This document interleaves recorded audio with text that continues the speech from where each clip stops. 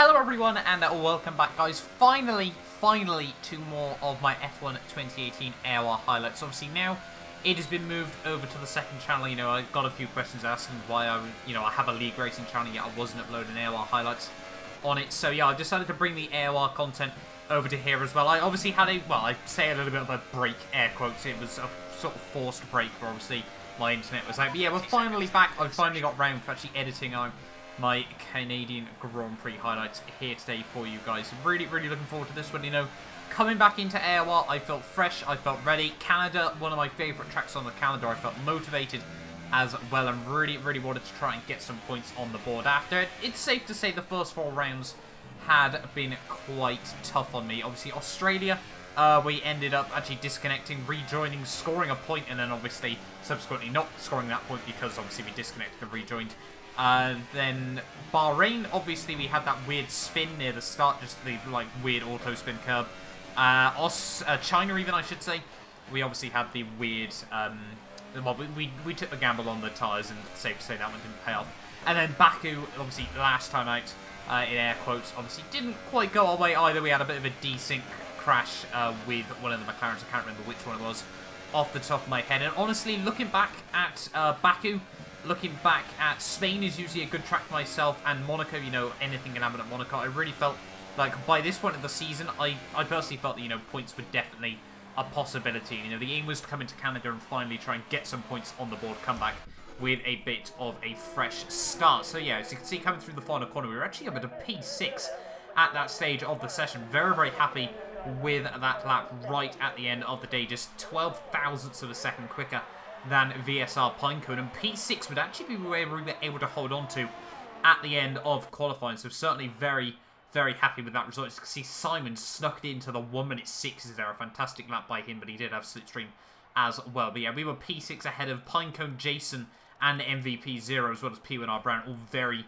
very tightly bunched. You know, all four, uh, five of us even separated by less than two tenths of a second. So yeah, very, very tight. But yeah, we're starting P6 then for the Canadian Grand Prix. Hopefully points can finally be a possibility here in the Circuit Gilles Villeneuve. And yeah, let's move on then into the race.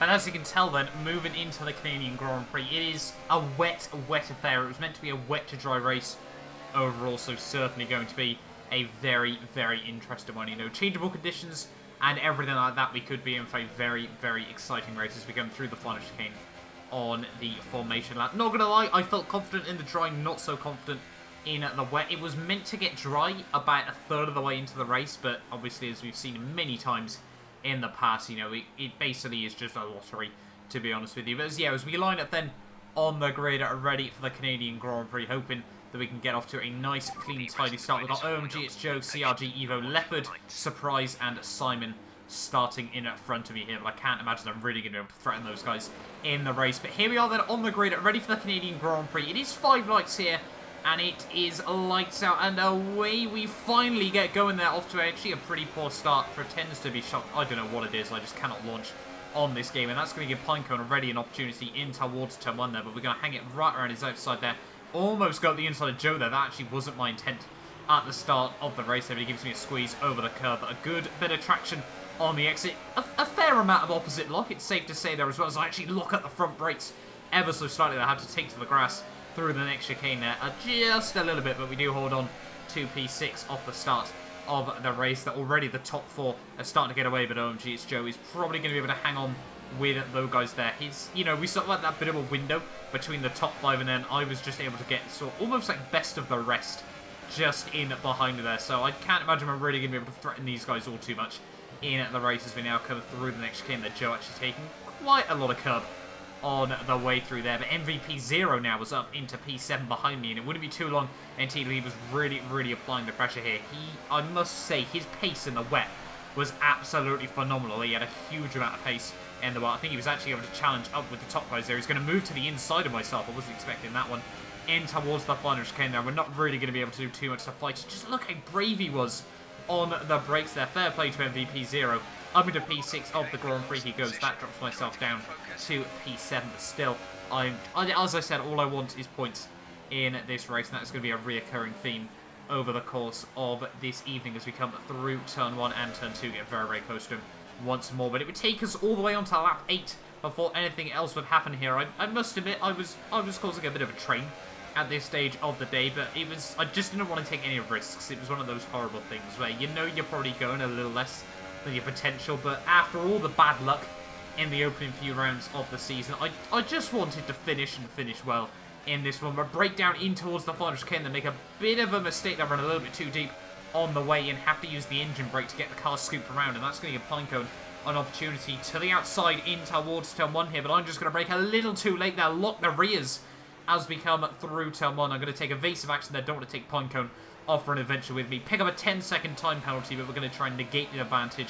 Give the place up to Pinecone there, and that's going to be us down to P8 of this race as we come through the next chicane here. And yeah, it was obviously I wasn't going to try and hold on to the place there. Pinecone was probably going to have it, and especially where I picked up the 10 second time penalty as well, I wasn't going to try and like walk away with it or anything like that because ultimately giving up two seconds is better than keeping the 10 second time penalty at the end of the day. But now we're under pressure from Cal Steve just behind me as well here. So clearly, you know, we've let one place through so far. We can't afford... It's, it's like a leaky bucket. We can afford to have one leak, but we can't just let everyone through at this stage of the day. We need to keep our pace up, keep the momentum, keep the rhythm here as we now break down in towards the hairpin here. And there's actually a little bit of a concertina effect there. I get a punt from Cal behind, but it wasn't his fault. There have been quite a few little, sort of little punts in towards each other, almost like domino effect in towards the final couple of corners there. But down this back straight once more here. Is Cal going to be able to get any sort of run? He's definitely gaining. We're going to try and bait a little bit defensive here. He's going to move to the outside, but nothing really he's going to be able to do there. Break a little bit too late through the final couple of corners there, and unfortunately that's going to give Cal a very, very good run there around the outside, and there's going to be nothing we can do to try and defend from that one, and that's going to give Reynolds as well an opportunity in towards Telmunder. He's going to go up the inside. He punts me out wide there, a little bit aggressive from him. That gives us nowhere to go through turn two there, and we're going to be side by side up the hill in towards the first chicane of the lap. Who is going to come out on top there? I tried to keep the up, up the inside there, and Callie just comes across me and just a tiny bit of contact there. We were lucky that we didn't actually get stuck behind him there as well. But yeah, I can only apologise to him for that one. But personally, from my thoughts and feelings, you know, he's, well, in offence we've seen from his footage, he did cut the corner as he'd cut the final chicane, which opened himself up the opportunity, was very, very aggressive through turn one, and really, you know, I, I, I didn't try to late break or anything, I even broke a tiny bit earlier than I would normally, but yeah, he, he just turned in a little bit too much there, unfortunate bit of contact for him. But luckily for me, we got out of that fairly unscathed on the whole, and it would take us all the way to lap 17. We wouldn't really be doing all too much. We sort of find ourselves in our own little operating window at this stage of the day here as we come in from our hopefully one and only pit stop of the Grand Prix. Hopefully it's a nice and tidy one. 2.7, that's okay on the whole there. Actually, we got very lucky that we got ahead of Zelchi. We could quite easily been held up by that one there as we come out of the pit lane now at the halfway stage of the Grand Prix. Jason Knight 7F1 there, I think he actually got involved with the Reynolds incident. It's going to come out just in front of me here, but I didn't really want to threaten him. The tyres, you know, he was on quite worn tyres, and as well as the fact, obviously, he'd have to pit again quite soon anyway. So really, for me, it was just a fight that I didn't really need to get myself involved in at this stage of the racers. See, just asking Jeff about what his tyres are like as well. But unfortunately for me, by the end of lap 23, see, the pace was pretty much even here, and the track had completely dried out. The changeable conditions had finally come, and by the end of lap 23, we're ready to make the stop onto dry there. So Jason actually got a little bit lucky, and I think his tyres were probably going off quite soon after that.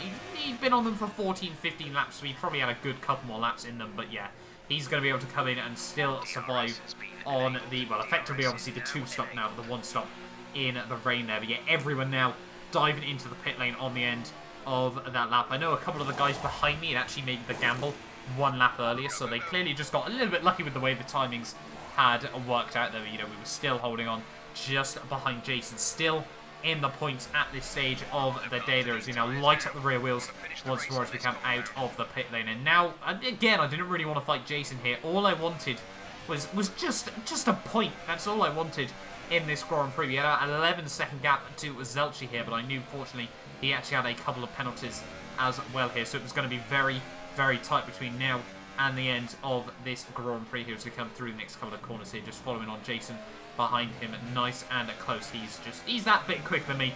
I'll openly admit that in this game as well. But yeah, see, just asking Jeff behind me.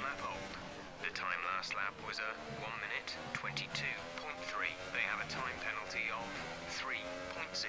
So he's got, yeah, three seconds worth of time penalties as well here. But by lap 31, though, we were just really monitoring this gap between myself and Jason here. We've been able to build up to about four seconds. And the safety car has been deployed. Zelchi there has actually made a big, big mistake through the chicane there. I think he's clipped the wall on the outside and spammed into the inside wall there. So that was not what he needed. But the safety car has been deployed. And honestly, I thought that was my race completely over here at this stage. Because, you know, I just felt everyone was going to bunch up. And that was unfortunately going to send me right to the rear of the field with our penalties there. But Jason's actually going to dive it into the pit lane there, so not exactly what I was expecting, considering, you know, we've got three laps to go of the Grand Prix. The safety car isn't going to come out for its full window. It's only going to be out for one, maybe two laps overall. As you can see, not too sure why it's trying to pop a wheelie going up the hill there as well. But yeah, we're going to now move ourselves up back into P9 of this Grand Prix. And honestly, this actually worked out quite well for me because with the way everyone else bunched up in front, I was still able to run at pretty much 100% pace,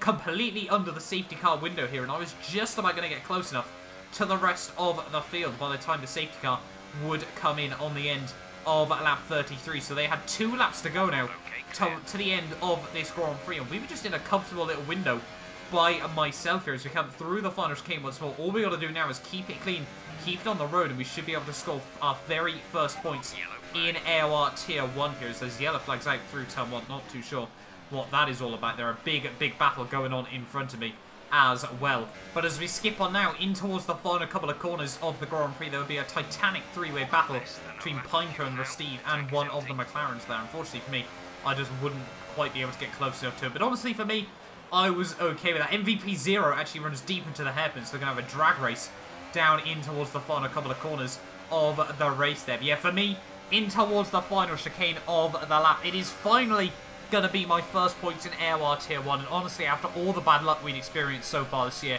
I was certainly happy with any points we were able to get there. Take a nice tidy line through the final chicane, but there we are, CRG Evo actually comes through to win the race there ahead of Veloce Surprise as well with, I think, was it Leopard in P3 at the end of the day? It might have been, or it might have been uh, OMG, it's Joe there. There we go, OMG, it's Joe, Simon and Leopard with Cal 6th, Pinecone 7, myself 8th, Jason in 9th, and MVP 0 10th with Langman and Team Vodka Shot rounding out the finishes there. Zelchi, Clone Troop, Brown, Cry, Lockdown, Reynolds, and Ted all not making it through to the end of that race. But I can confirm, actually, after the race, the stewards did offer in favour of getting rid of my 10 second time penalty there. So that safety car has actually been really, really good to me at the end of the day there. That actually means at the end of the Canadian Grand Prix, we went from P6 to P6. Eight points in the bag. That was certainly more than I was expecting at the end of the day. Really, really happy with that one.